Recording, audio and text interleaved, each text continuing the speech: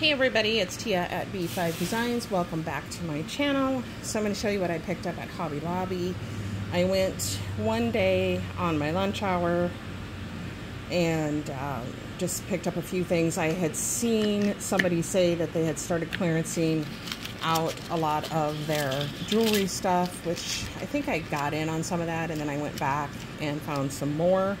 So I picked these up for $1.74 and then I have a bracelet that my husband got me for my birthday um, that is on this type of a bracelet thingy where you just pull it. And I really liked it. So I got picked up one in silver, one in gold. They were regularly $5.49, only $1.37. You can't see the gold one very well.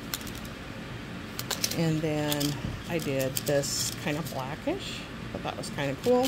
So I got that, and then I went over and I was like, I don't think I have any orange gingham. So I decided to get these, and they were on sale. And they kind of have the little like pom-poms or whatever on the end. And the only color I didn't get, because I'm in Halloween mode or fall mode, is purple. They didn't have one like this with the little pom-pom edges. So, and these were either 40 or 50% off of 2.99 and then I did go back another day well I at on this same trip I picked up some paint. I got black. I got brown. I'm not sure what I got brown for.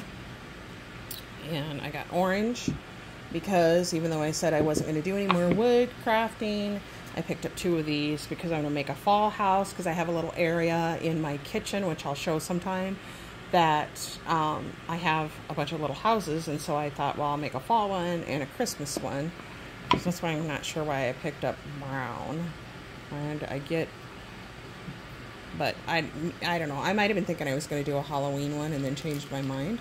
So then my husband had to run there another day and get something.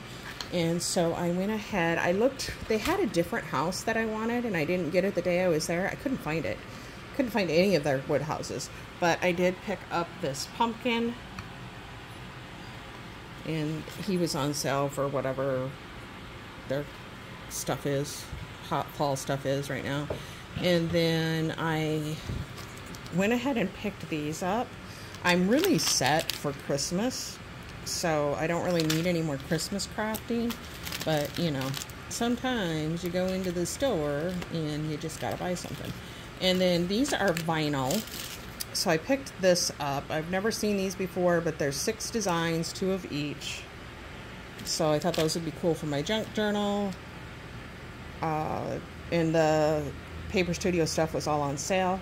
And then I picked this up for 57 cents. And I picked this one up for $1.24 and I picked this up for some leather a leather thing that my son's making for me that I want to put a sunflower on. And then I picked up this on a cord. I thought I picked it up in white as well but I don't see it so I'll have to look in my bag again. But that is it you guys. That is my haul from Hobby Lobby this week and I will see you in my next video. Everybody have a great weekend. Bye